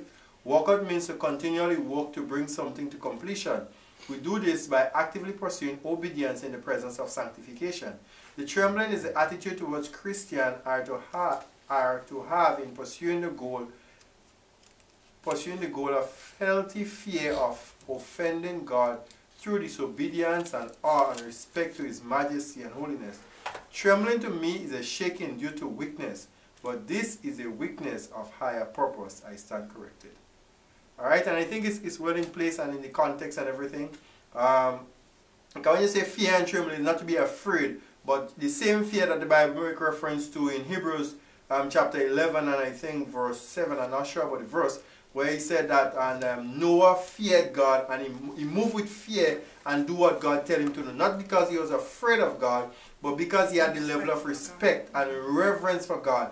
Even though he have never experienced rain before, he believed that what God said would come to pass and that's why he, he did what he did. So this is why we have to move in the way we should with our Christian experience to work it out because we have respect and reverence for God. Alright? Nico George says Not, not- just in that in, in that vein, there's another swing to it. If we look at the text carefully, I, it's an idiom that is being used here, and I don't think um, God is telling us that we must be frightened No. to worship Him. There's a call for for us to take stock as to where we are. We need to be cognizant of the fact that Jesus saves, and the devil is seeking to get us as much as possible. So I think the apostle, the apostle is calling our attention here to understand the emergency of serving Jesus. It is a call where we must be within our hearts cognizant of the fact that Jesus saves, He establishes the order of salvation, and we must seek it earnestly. But it's not that we must be frightened to worship God and something is going to happen to us. Um, so, Sister Shelley, it's a call here, and, it's a, and, I, and I like the point that you're raising. It's a call here, a call of emergency. That those of us who attend church must understand that we are not just going to church for the ritual, but we are going to church for the sole purpose of worshiping Jesus. Alright. And just to add, um, Sister, we said that the church they're the called out people, and I think oft, oftentimes uh, many persons think that the call is just a one time. you hear the call of God and you accept Him, you go to, you baptize, and then you start to go to church and you go through the the, the, the rituals of, of attending church and the different services. But I firmly believe that the call is it's every day.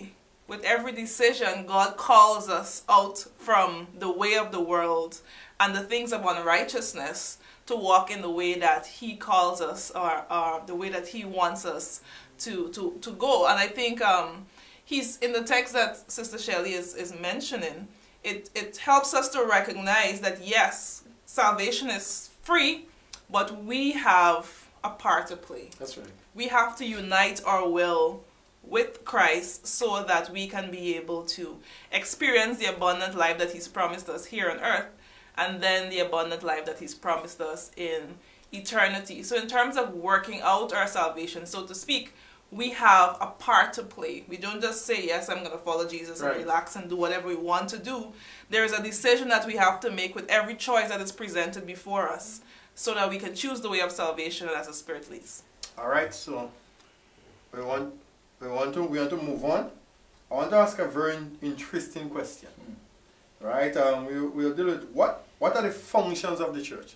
Why was the church established? Because churches today are plenty plenty things happening. Sometimes you see things on the internet. Sometimes you, you go places and you hear people talking about things that pastors are, are doing to them to their members or allowing the members to do and and because for example before before you all respond, I was at the gym and the guys and them were saying that um, you have a pastor is bathing in the water and the members are drinking the water. You know, like in a drum or something. And, and and those people are, are sometimes you hear people do things and you want to know if those things are really true. There's a pastor who told his members if you want to receive the Holy Spirit, go outside and eat grass and the members went outside and they were eating grass. Um, one told the members that if you want to receive the Holy Holy Spirit, when you come to church, you ladies don't wear any underclothes and they came to church like that. You know, say a lot of things are happening. So I want to ask the question, what really is the function of the church today? And online viewers, you can respond as well. I, I want to give a, a Bible text um, in relation to the function. Of course, there are other functions beyond um, what I'm going to read. Ephesians chapter 4, um, from verse 12, the Bible says, in relation to the church, he gave the different leaders, different officers of the church, and, and says, for the perfecting of the saints, for the work of ministry. The word perfecting there is an old English word for equipping. Right. So one of the reasons for the existence of the church is also to help equip and empower um, its members to do ministry for the Lord. That's right. And so every member should be involved in, in ministry. Then apart from that empowering or training, um, the Bible says for the edifying of the body of Christ. So one of the functions of the church is to edify its members so that we'll understand the will of God for our lives. We'll understand the, the way we should live our lives in order to please God. Because you know you don't want to just accept Christ and not know how to please him. You accept Christ and you must understand how to please him. And so that's one of the functions of the church to edify, to educate um, its members, not just being emotional, but it's also edifying the body of Christ. And then it tells us the purpose, Still, we all come in the unity of the faith and of the knowledge of the Son of God unto a perfect man, unto the measure of the stature of Christ. So the church is to help us to become more like Christ. And, and so in light of these functions, it makes um, being members of the church um, an imperative. Um, it cannot be a case where I may, I may not. Um, yes, the church cannot save you, but when you consider the function of the church, it is a must for us as believers That's right. to be part of the church of God. Of God. Amen. All right, anyone on the Yeah, I'm, I'm, the function of the church? What do you think is the function of the church today? I remember Pastor Jacket, Jacket at school. You know, I doing that course with him, and he said the church has two primary functions, and that is, well, he gives us the two forces. He calls it centripet- centripetal and centrifugal. God calls us. We gather as believers, and God gives us a commission to go and expand. And we see that in Matthew 28, 18 to 20. Go ye therefore and preach the gospel. The church's primary function is to do mission. Whenever we cease from doing mission, the church suffers. Sure. We are here to one individual of the impending doom and also to tell them that there is salvation available through Jesus Christ. So whenever the church loses sight of his, sight of his mission, mm-hmm. the church will go into a dark hole. Therefore, the primary function of the church is to ensure God guides us and to ensure that we go where He's asking us to go. All right. So let's look at some of the comments. Let's go back up and take some of the comments from our viewers online. Um, says what the purpose of the church. Church cannot save us. Church cannot save us, but we go to church because we are saved so that we can fellowship and strengthen each other. That's right. Right? Shall I say yes? A lot of false churches, leaders misleading people. All right. Nikisha Alexander said the church, the synagogue at the time came into existence to bring us closer in spirit to worship and bring glory to his name and in turn bring others closer to him. All right. Chrissy Sylvester is saying for fellowship and ministry. all And, right? and that ministry involves mission, Yeah, evangelism, evangelism, yes, yeah. That's right. Shaman says, go up, go up, go back up, go back up. Alright, says, Sabi Sabat everyone from Turks and Caicos Island. Now let's go. Alright, um, Gertrude says, the church is a hospital for the spiritually sick. That is The right. leaders are expected to educate its members to be Christ-like. Alright, Anderson Felix. Next week. Oh, no, No, next go way, next way. Go down, go down. Right, um, right. He says, but ye are a chosen generation. We we read that text already. We are called so we can call. Alright? So we are called so we can call. Alright? Okay, so we do the last question and then we wrap up. The question is for the online viewers and as members of a church, at the Seventh day Adventist Church, what are some of your concerns with the church today? What are some of your concerns? Maybe if you had an older person here, they will start talking already. They will say how it was before, how it is now is different. Go ahead. If I, well, let me start so the last cut problem and finish. The church to me, one of the concerns that I have as it relates to the church is that the church to me is losing its identity.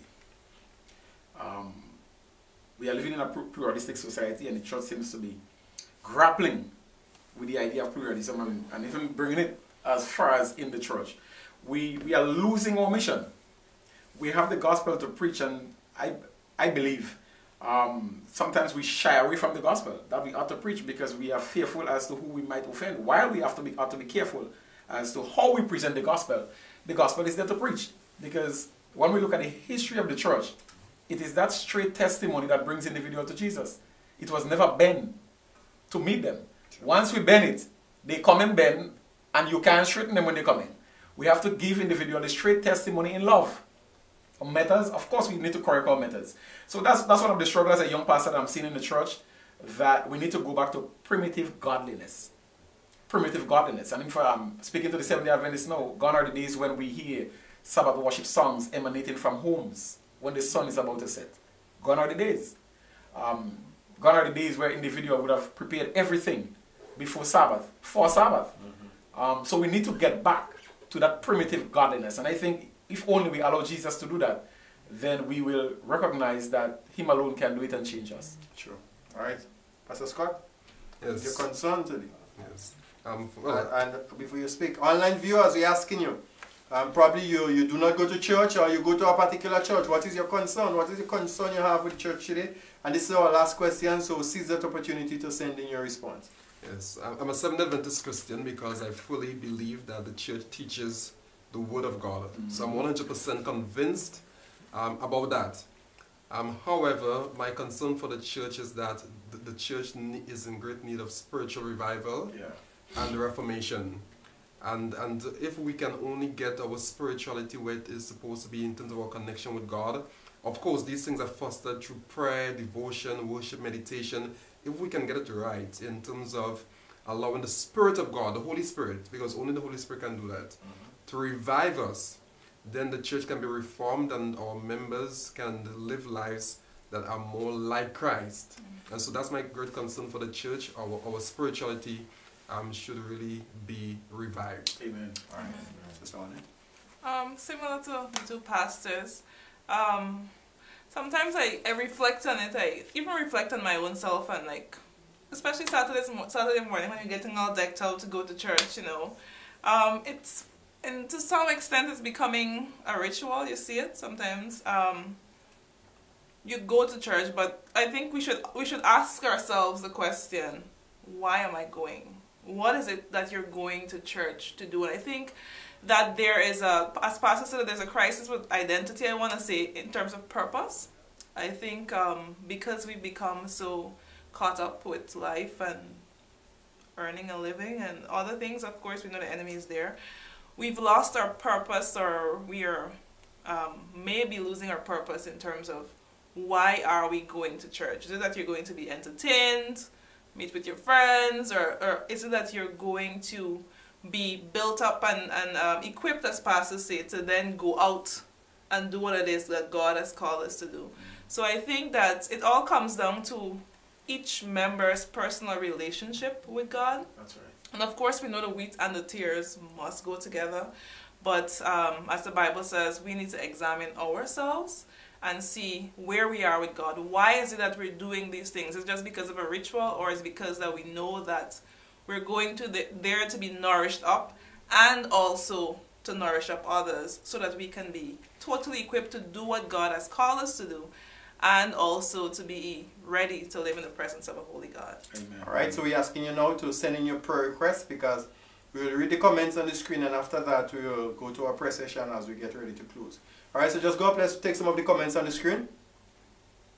All right, some of the concern that the brethren and the viewers have with the church, right? Okay, we start from there. Christopher Gomez says the church is to be considered a family that love each other and God, and as with any relationship, spending time nurtures and grows love. And it's the same thing that is needed with the family of God for the purpose of caring for, guiding to, and loving each other, and being a reflection of Christ to the world. Mm-hmm. Alright, let's go down the road. Alright.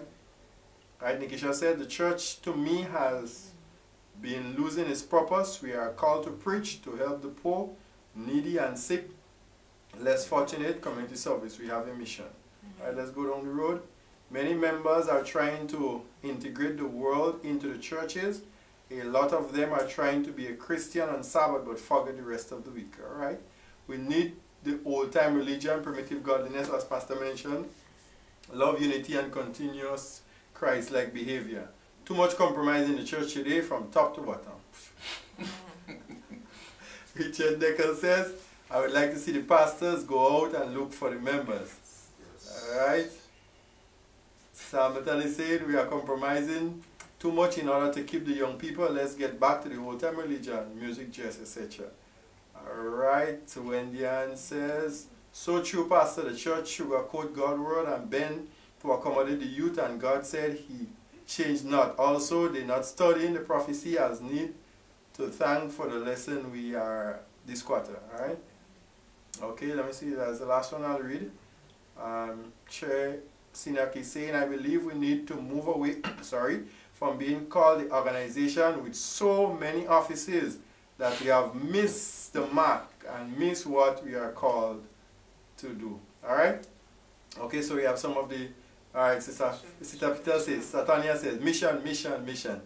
That's what the church is called to do. We are, we have to go back to Christ's method alone, meeting people where they are, seeking them in the comfort zone and presenting Christ to them. Amen. Mm. All right, Christopher Gomez said the church has lost its true love for God. We need to we need to love as God loved to be that light reflection of Him in the world in darkness. God is love, so we need to love selfless. All right, okay. And Sister Mason says to me, I believe the church have been too compromising. Okay, so at this point we will go to our, our prayer session. Um, you know that there are different people out there with different needs and they want um, God to do something for them. So we really want to pray for the individuals. So if you have any special requests, you can send it in. Alright. Or we'll have Pastor Scott and Sister want to do a special prayer for everyone because no request is coming in. So Pastor Scott and Sister One. At this moment, awesome Father, what a wonderful privilege to call upon your mighty name. We thank you for this privilege of prayer. We thank you that we can be together in unity as believers here and even those who have been viewing and listening. We pray, God in heaven, for all of our different concerns. You said in your words that if we delight ourselves in you, you will grant us the desires of our hearts. So whatever our heart's desires may be, that are in harmony with your will, we pray, God, that you please accomplish in our lives. Wherever we need your help, your blessing, we pray that you grant us such favors. Are persons who have been viewing who are in need of healing. We pray that you stretch forth your mighty hand and heal. Some might need financial blessing. We pray that you open the windows of heaven and provide. Provide job, provide finance, Father. There are those who need mending in relationships. We pray that you allow reconciliation to take place at home, at work, and at other in other cases where such would be needed. We pray, Father in heaven, that you meet all of our needs. But as you meet those needs, God, we ask that we respond to your goodness by being faithful to you, by living our lives in harmony with your will.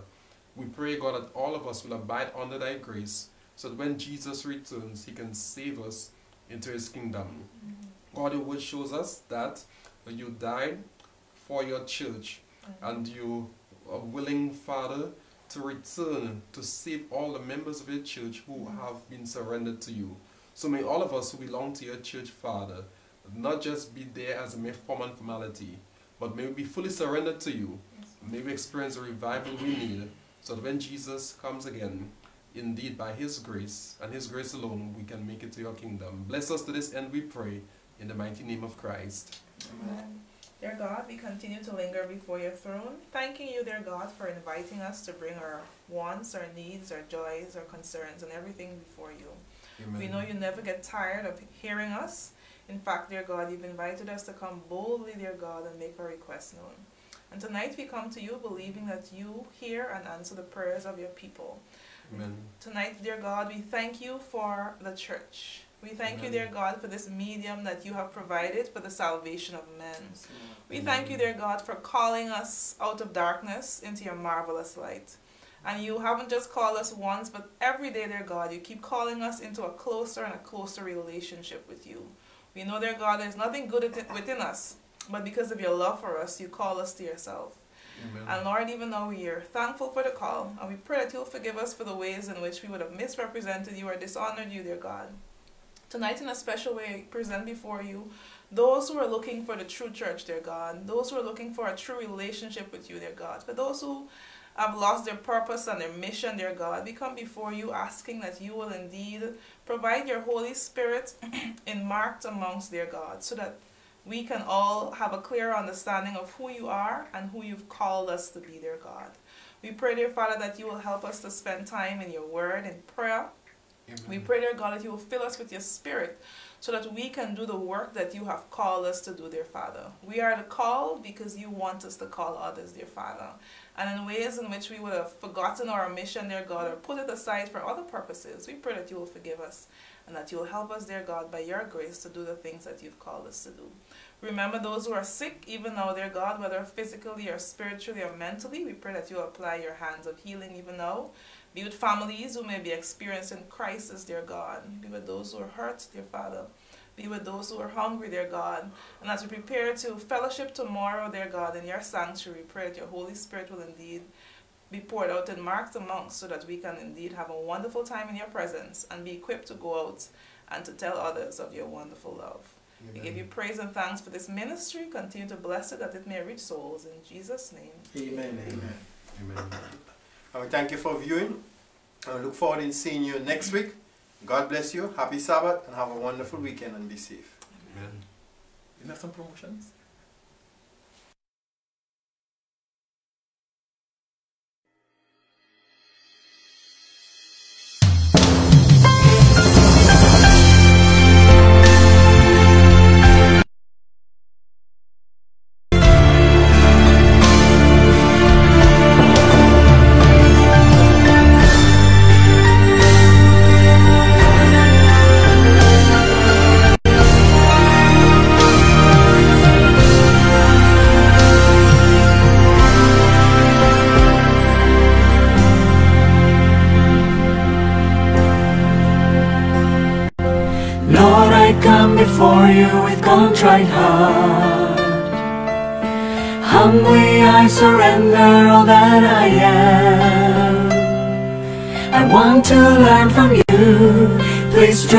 Close to you. Help me share your love and grace in all I do. Lord, I come before you with contrite heart. Humbly I surrender all that I am. I want to learn from you. Please draw me close to you. Let me